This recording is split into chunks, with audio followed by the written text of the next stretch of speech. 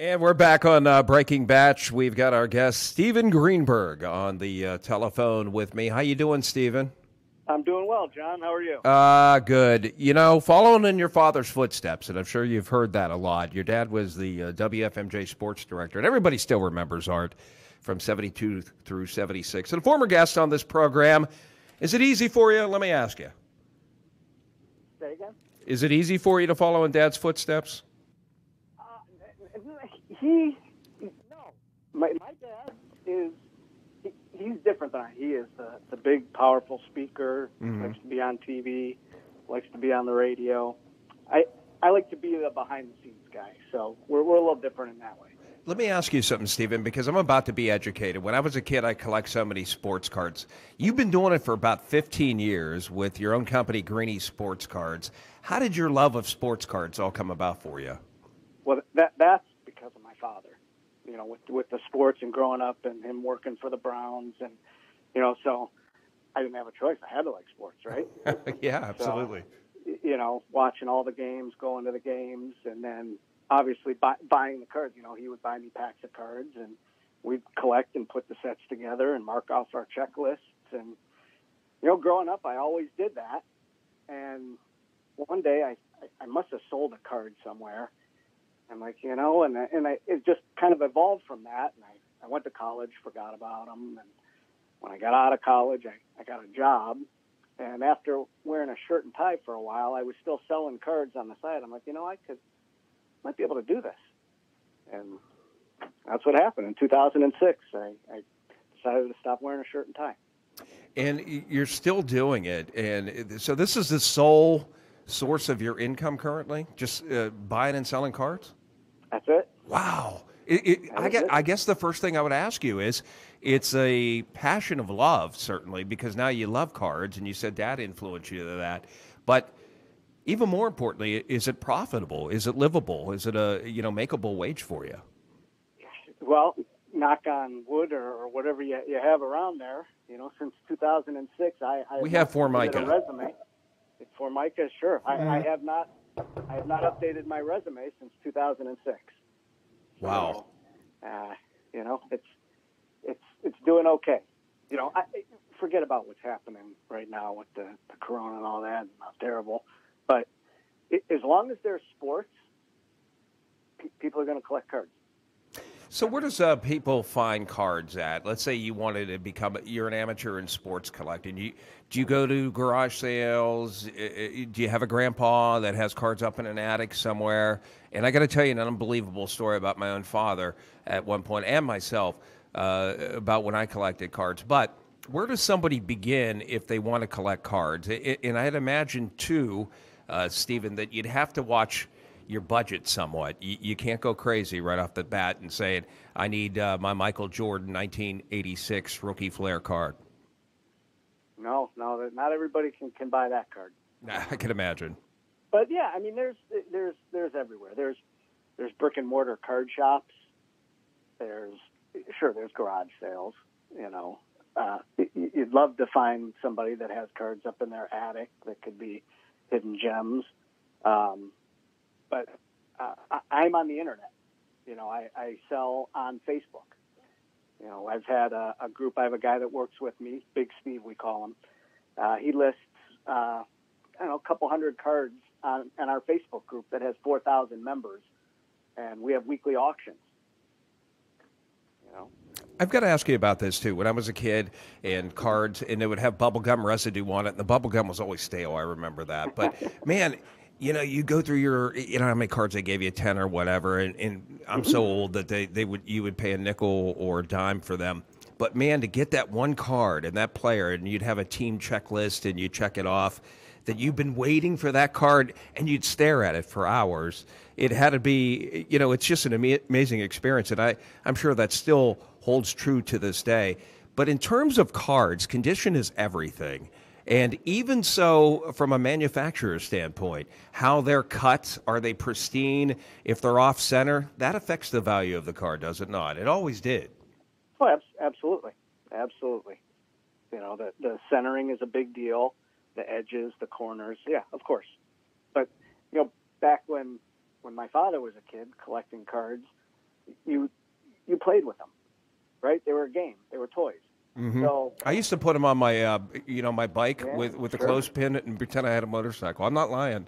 I mean, I, I probably had a Mickey Mantle rookie card. How do I? know? No, I'm kidding. Well, you could have. I, you know, I'm not that old. I mean, well, that's fine. Uh, but in in 1952, there there was no shortage of that card. You know, the 1952 Mickey Mantle. They're, they're out there. If you want one, you can go buy one. How much? Uh, well, and now we're talking different different thing. I mean, you can you can buy a very poor condition one for eight thousand dollars, which is a lot of money. I'm very well aware, but it's it, it's not like you can't get them. And, and Mickey Mantle, two uh, two cards uh, strike prominence within the collecting community. The 52 Mantle Topps card.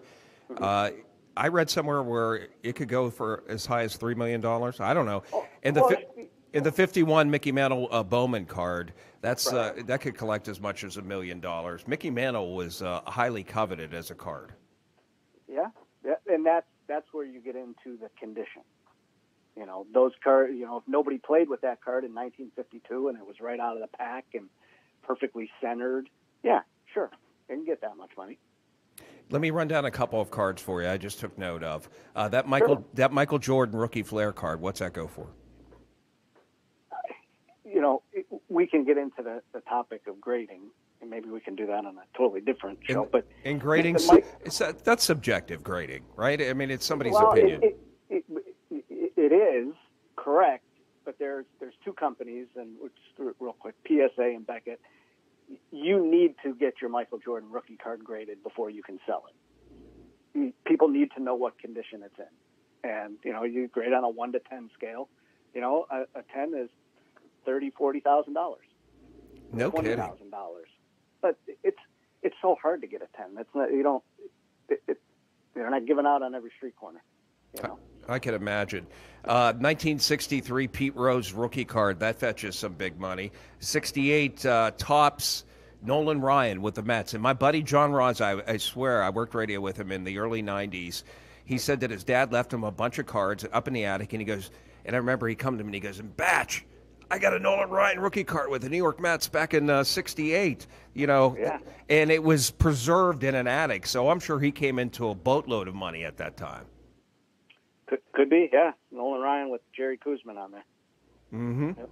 And you look at the some of the other cards too. The Babe Ruth. You always hear about the 1909 Honus Wagner card. That goes for multi millions of dollars. What's the rarest card that you've come across in your 15 years in the card Oh. uh, business with Greenies Sports Cards? You know, nowadays, starting in like the late '90s, they'll have specialty cards or chase cards that are actually serial numbered. So, you know, you can find cards that are numbered one of one. It's the only card produced of, of that specific card. So, r- rare is a relative term now for cards. You know, um, you know they have cards numbered to five, numbered to ten, numbered to a hundred. You know, back in the day, you know, you wouldn't know how many cards were printed of you know a 1982 mm-hmm. Topps card. You know, so the rarest card that's that's Im- almost impossible to know. You know, I, I don't I don't have a, a Honus Wagner. No. Are there cards that to this day, and having done it for well over a decade, that Steven Greenberg still covets? I would do anything to get this card. And you can't be crazy either. You can't say you can't sit there and overpay for a card just because you've wanted it for so long. You know, it's, people ask me all the time. You know, what what do I collect? And up until recently, I don't I don't really collect cards because it's a business. I enjoy them. I love them. I don't collect them. But now, any LeBron James card I buy, I don't resell. I just stick it in a box. I just I, I like to I guess collect LeBron James cards. Wow, amazing. Yeah. And and I imagine that's going to hold even more value as time goes. So how does somebody sit here and they know that they have a valuable card and risk the temptation of cashing it in, just holding on to it, holding on to it, holding on to it as it increases in value?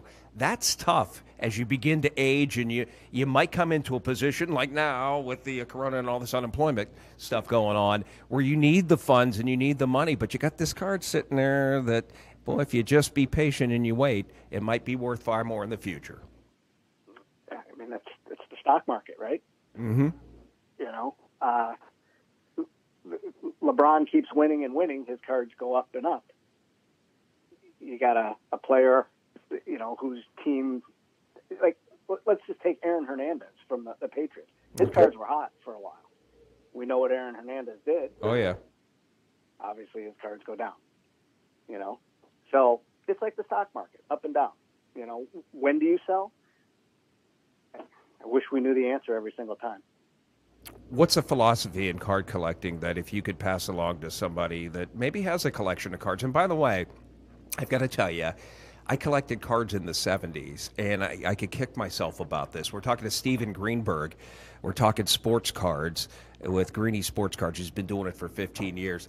I used to, and this starts in the late 1960s, and I, I would love it. I would get 10 pack of cards because really you can get 10 pack of cards then for about a buck, maybe less. And I would open them up, and man, it was just so exciting seeing that player or whoever you wanted. But I would collect, I put rubber bands on all my cards, I would separate them by teams. Uh, team checklists and check them off, and then I'd throw them in these huge cardboard boxes. Sometimes the neighborhood friends that were also into sports would come over, and he'd bring his box over, and we would trade cards and swap over there. But it was such an exciting time. But sometime along the transfers and the moves in my own personal life through childhood, I lost them. I don't know if I voluntarily surrendered them what happened to them, but I can kick myself about that now. Now, I will tell you this, Steven. I do have a couple cards from the early 70s, and I don't think Fred Chicken Leg Stanley is going to bring any value to me, sadly. that's, that's about all I've got. Maybe Lou Camilli, that used to play for the Indians. I don't know, but I, I've got these cards that mean nothing, but I can still kick myself because I should have held on to them. Well, they mean something. They may not hold monetary value, but they mean something. And that's what I tell people: don't don't collect the cards for the money aspect of it. Buy them because you like them. Mm-hmm. You know, I mean that that's that's the collecting part of it. Not not everybody can make a business of it. You know, I, I have I have a lot of friends that have, um, but not everybody can do that. So you buy them and you collect them because you like them. Whether you want to just collect a player or a team or the college that you went to, anybody that turned pro from there, you know, collect them because you like them. And then in the 50s, that's when my dad collected cards. And he told me before his passing in 2017, one of the biggest regrets in his life was that when he was a kid and he said, John, he goes, Johnny, I had Mickey Mantle cards. I had the rookie card. I had all. I said, Dad, you'd have never held on to it all that. You would have cashed out a long time ago. But my grandpa got upset with him as a father and burned all his cards up one day. And he said I could still watch my cards going up in smoke, and I had thousands and thousands of cards. And he said he never forgave him for that. So that's an amazing story. You know, I every everybody collects something. I collect. I collected sports cards for a while. I also collected records and music for a while. I used to get original label stuff, and I know what I know what you're talking about when you say about grading and everything because I did that too. And now I collect sports memorabilia from past broadcasts that date back to the 40s and the 50s, and mostly Oh, at yeah. my peak time in the 1970s. And even there, you grade them. But one of the things that collectors always have to be leery about is the presence of one counterfeit copies. And Yep. that is an art and a science that you have to go through and know that you're not spending buku dollars on a fake. Well, that that's why when I, I mentioned the grading earlier, and, and we said it's subjective, that the Michael Jordan rookie card, for instance, is the most counterfeited card ever produced.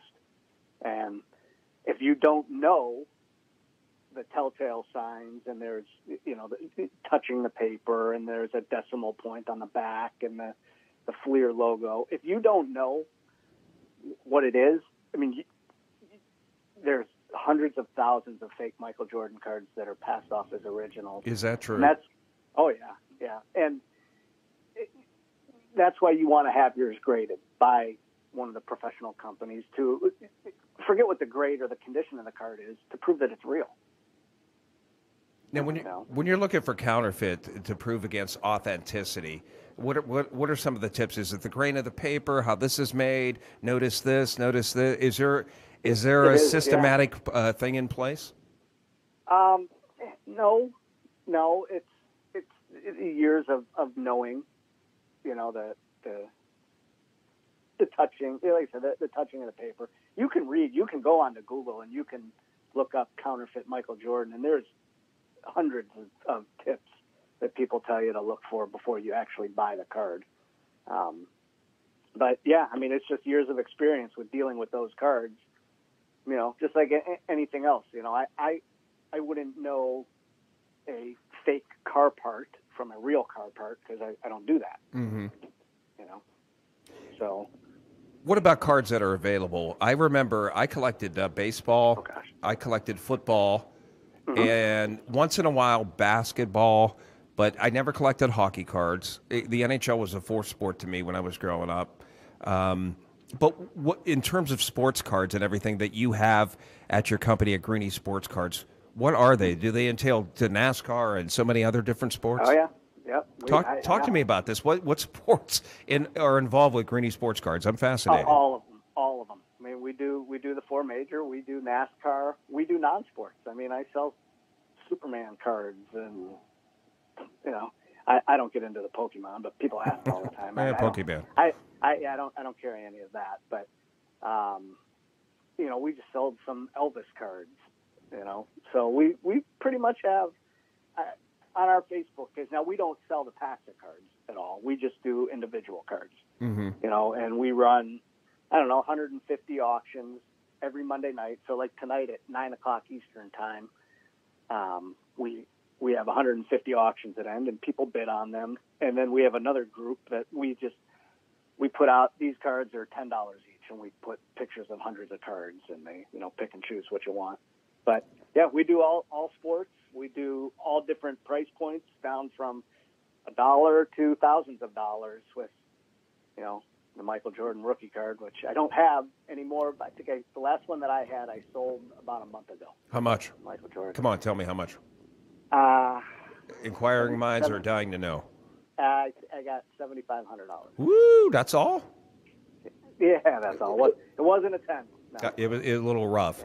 Speaking, It was graded. It was graded, but a nine. Yeah. Okay. Speaking of being a little rough, and we talked about this. I, I talked about how I would take the cards and you'd stack them on top of each other. Sometimes you'd flip cards as kids when you were trading, and then you put the rubber band on, and that damaged the card.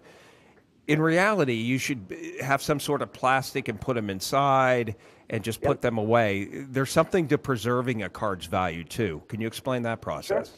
Sure. Yeah, they they have little plastic sleeves. They call them penny sleeves because there's a hundred in a pack for a dollar. So you can do the math. Um, and then you put those into a little harder plastic sleeve called a top loader, and they have different thicknesses because now cards are different thick. You know, there's real thin. They have real thick cards because they now they they put pieces of of like a relic, a jersey or a ball. They they put into the card. Oh You wow! know, so, oh yeah, yeah. There's, you name it. There's autograph cards.